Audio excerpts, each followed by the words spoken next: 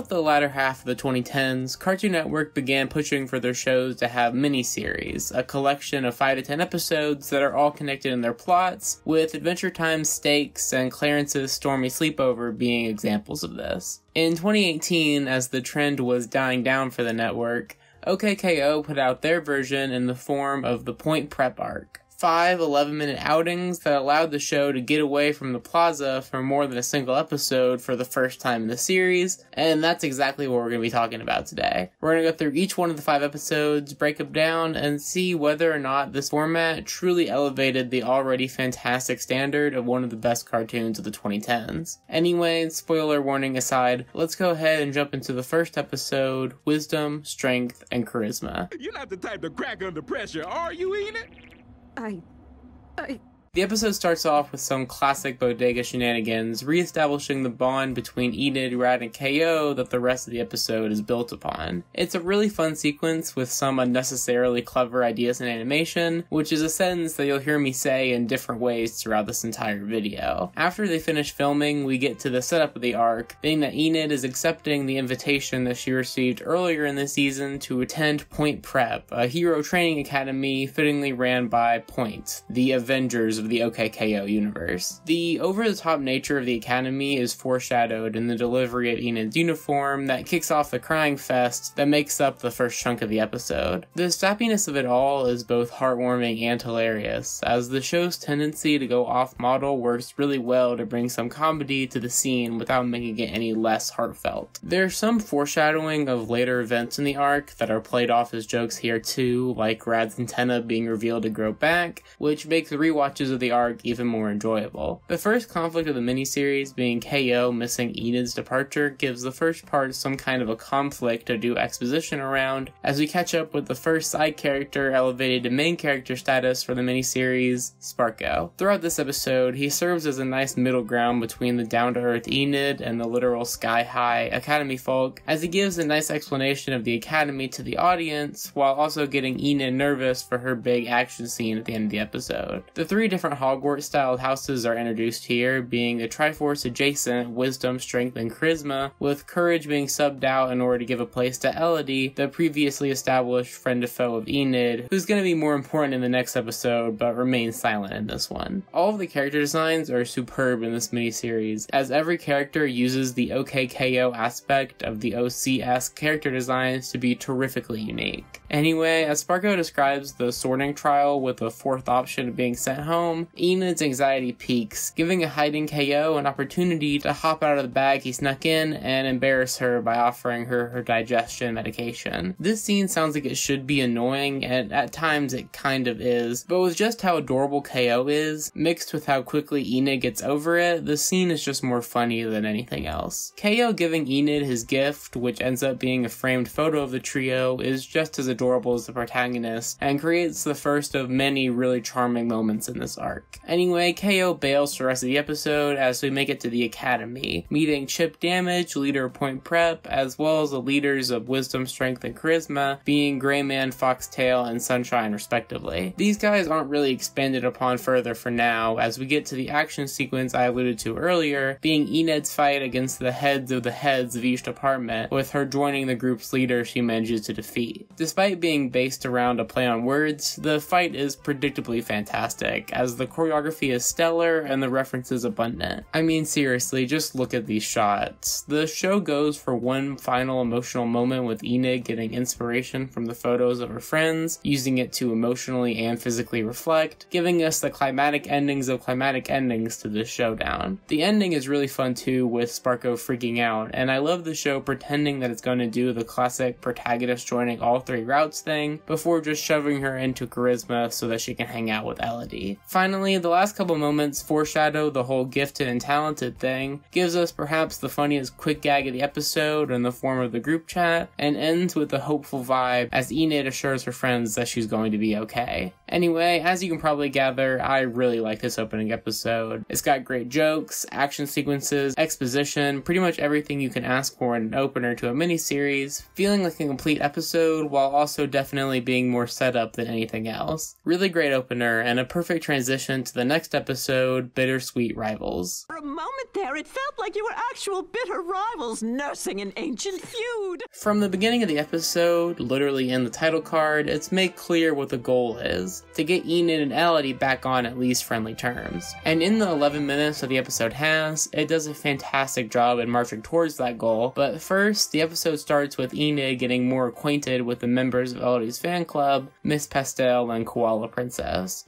I've already touched on how impressive these designs are for characters that are going to hang around for less than a half dozen episodes, but this conversation also serves the purpose of showing that Enid is more than capable of being pleasant in conversation, which further puts the blame onto her new roommate, Enid's middle school friend turned enemy, Elodie. I'm gonna be honest, I'm a huge fan of Elodie's character, both in and outside of this miniseries, for multiple reasons, not the least of which being just how funny she is in every single interaction. OKKO has this ability to craft characters that both actually have depth and are over the top in ways that create a constant flow of comedy every time the character opens their mouth, and Elodie is one of the best examples of this. It bounces off the subdued Enid really well to create a fun dynamic that permeates throughout the rest of the episode, as the characters don't really have a conversation until the very end. Instead, we just get them engaging in small battles as we see what a typical day at the academy looks like, starting with Enid predictably sleeping in. Rad and KO being a part of this episode through the photograph is a cool and funny idea, but it is a bit lame with the knowledge that this is the only episode they don't physically appear in, but I'll address that more later in the video. Anyway, Enid rushing to get ready serves a dual purpose, both to let the show get in what feels like their billionth still somehow funny anime adjacent joke in, and to further juxtapose the titular rivals. Anyway, the rest of the episode is made up of the three classes taught by the three different heads, where Enid and Elodie go head to head in each one. First up is is charisma with the challenge of hero entrances, which is a hilariously perfect way to compare the two. Elodie's entrance is perfectly Elodie, complete with bright colors and all, and Enid's ends up fittingly ninja-esque, with hers devolving into a dig towards Elodie's lack of loyalty, which while it definitely is a bit overdramatic, even given the nature of the competition, it still gives us some nice choreography in what ultimately ends up being a fightless episode. Anyway, next up is Wisdom, which involves the pair having to guess how to solve a classic super superhero situation drawn on a blackboard. This is definitely the weakest of the three, as Enid kind of just lucks into the solution after some fun chalkboard animation, while Elodie gets the answer through actually working it out, and it's hard to get anything out of it besides that the pair are different. Luckily though, the episode quickly gets to its climax, with Foxtail introducing us to the Strength Challenge, which is the simplest of the three, just a rope climbing race. Of course, the characters end up just sprinting up the ropes without any hands, which allows for a conversation between the two. The pair seem like finally talking is about to heal the barrier between them when all of a sudden Elodie bursts into some kind of green fiery form, which she only awakes from when her rampage causes Enid to tumble through the sky. Elodie's decision to not let her friend die is a nice reminder that she does have some kind of character, and the heartwarming conversation that the entire episode has been leading towards finally happens against some of the most beautiful backgrounds in the entire show. Elodie's apology is received in a pretty low-key manner manner that doesn't force Enid to deviate too far from her character, and it's a really nice ending to a pretty fun episode. Overall, redeeming Elodie was a pretty tall order, and I think this episode does a pretty good job achieving this and showing how her and Enid were once close friends and how Elodie's ambition just got in the way. While it does have some slow moments, it could have perhaps used more time on just letting Enid and Elodie talk to each other. The ending conversation between the pair is well written and animated and makes the whole experience quite enjoyable. So yeah, the miniseries is pretty easily two for two heading into the midpoint. Are you ready for some mega football? I'll explain what I can before the game starts, though.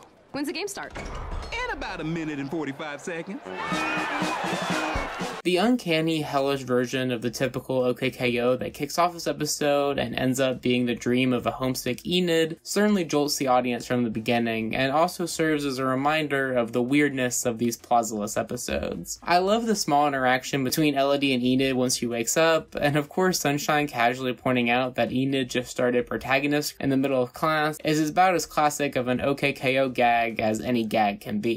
With how much the series loves to do tropes and then subvert them, there was no way that we were going to get an entire school arc without Enid playing a sport, and the show's subversion is that the sport is mega football, a seemingly ruleless chaos session that eventually somehow results in a winner. The pep rally that establishes that Point Prep somehow competes in the same league as the general citizens of the plaza is loaded with some fantastic jokes, even if the gag with playing the exact same cheering shot over and over and over again was probably not worth it. Vicky's muscles popping SpongeBob style is a great physical gag though, and a nice way to shove Enid into the action. I love the joke of Sparko making fun of the short amount of time between the pep rally and the actual game, with the emphasis on the idea that the rules hardly matter. While having KO and Rad be in four out of the five episodes in the arc that was supposed to be about Enid leaving her comfort zone definitely sounds lame, and ultimately kind of is, it's hard to complain about getting some of the trio's interactions that makes the series so fantastic. KO's gag about being every role besides player in the game, Bugs Bunny style, makes his presence in the episode quite joke productive, and Rad serves as a nice benchmark for Enid to realize how much she's changed. There's kind of a weird flaw with the actual way this contrast is presented though, as Enid goofing off with Rad instead of actually trying to win the game is shown as something that Foxtail shouldn't be upset about, when in reality it makes complete sense that Enid should be expected to at least actively try to win,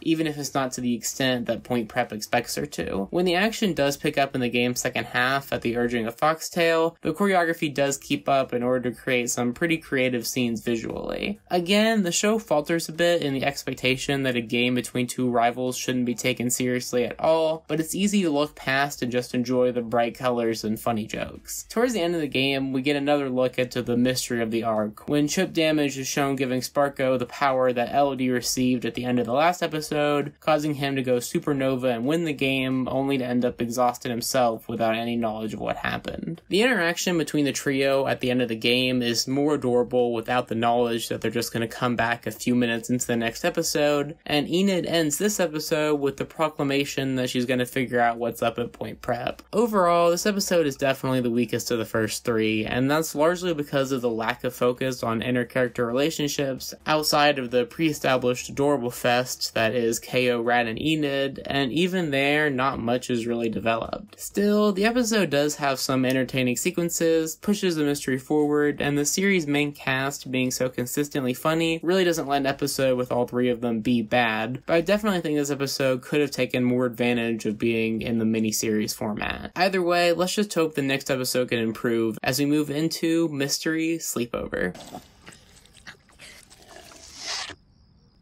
More so than any of the other ones I'm talking about in this video, this episode links to the next pretty directly, which is unfortunate given that if you only watch these episodes on television, you were staring down a 10 month wait between them. Gotta love 2018 Cartoon Network. Anyway, back to the episode. We started off with some really fun Enid and Elodie shenanigans. It's fun to see the pair actually being friends after the last episode mostly separated them, and it's just nice in general to see some Elodie when she's not actively in conflict with the main cast. Anyway, this Elodie fun session is cut when Enid has to go pick up the pizza, where she witnesses Grayman and Sparko having a sketchy conversation. The scene doesn't reveal much so the audience doesn't already know, perhaps besides just making it clear that Grayman and Sparko were in on it, but giving Enid confirmation that her suspicions are correct fully adds to the mystery part of the title. The introduction of Rad and KO is, as I mentioned before, kind of lame, although the show's comedy doesn't really work if a character is by themselves, so without significantly changing the plot, this might have been the only way the episode could have worked out. The stuff with the trio by themselves is a bit boring given what the show usually is, but once I start hanging out with Elodie, the comedic value definitely starts to pick up pretty dramatically. It's fun watching the four characters hang out as we get to see some dynamics that are pretty fun, like KO and Elodie, which eventually ends with Elodie seemingly snapping at him out of nowhere with a spiel about how hard it is to get into point prep and how KO doesn't really stand a chance.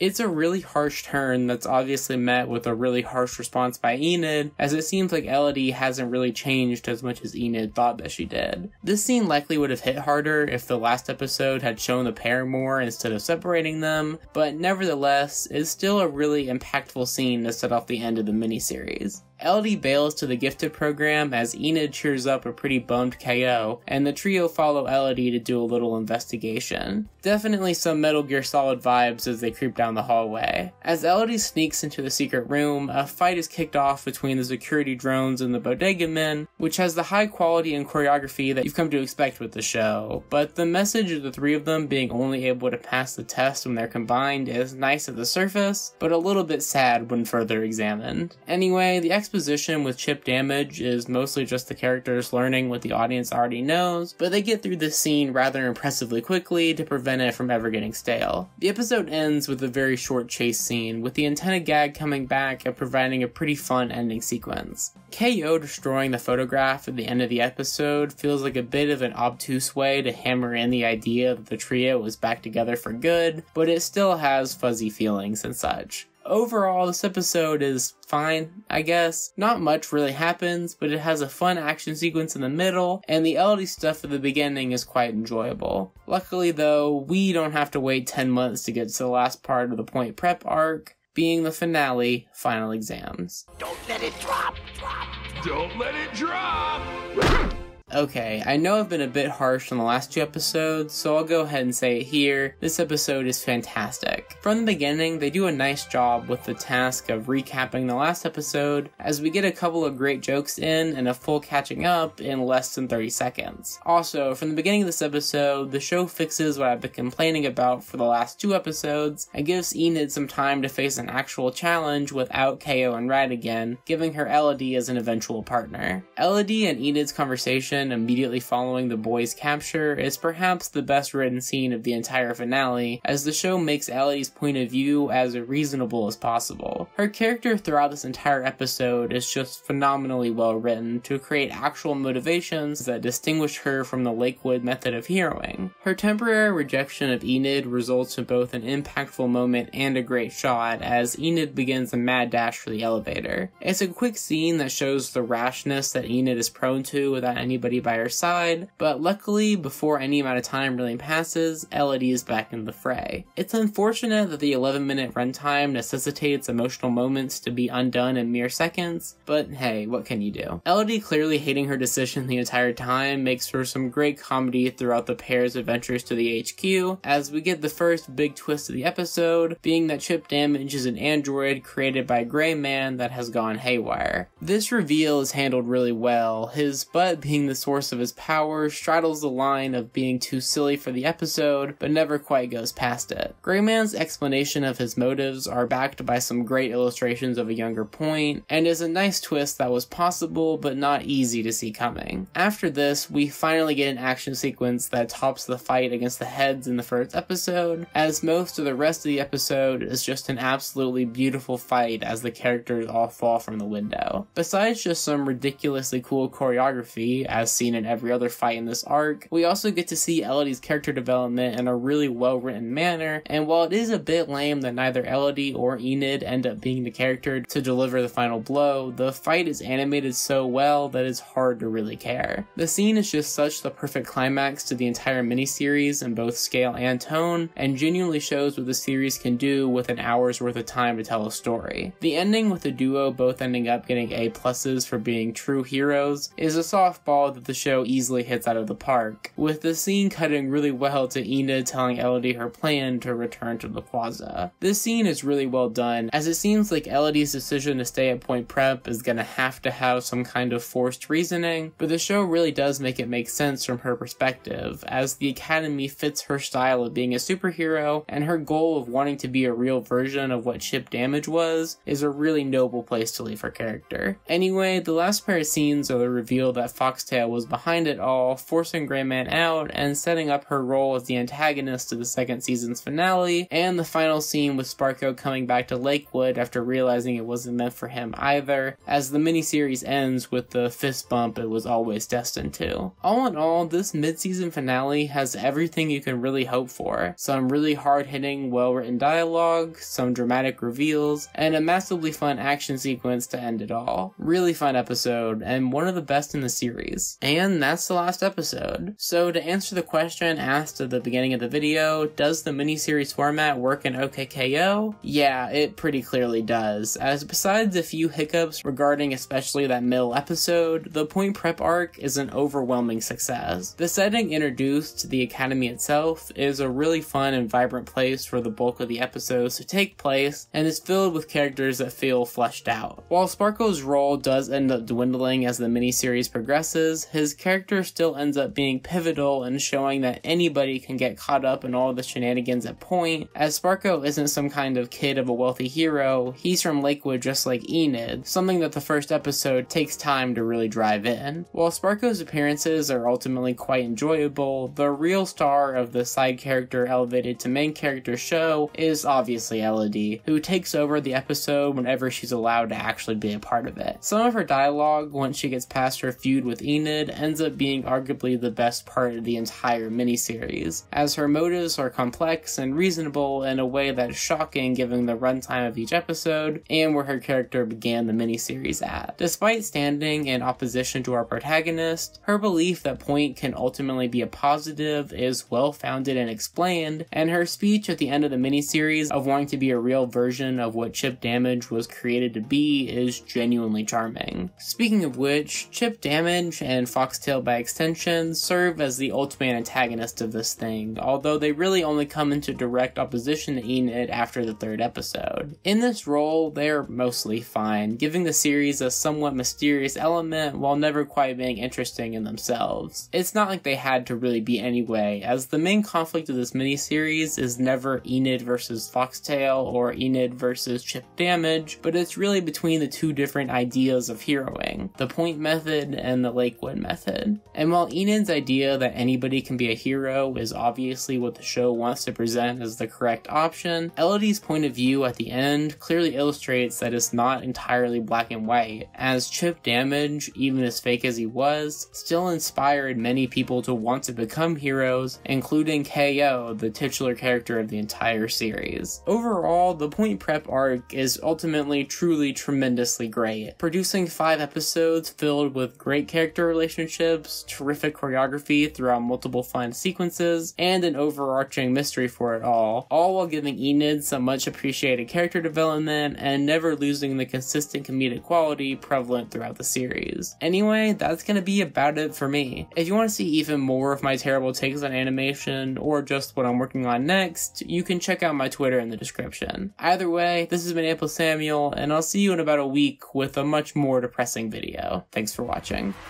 Música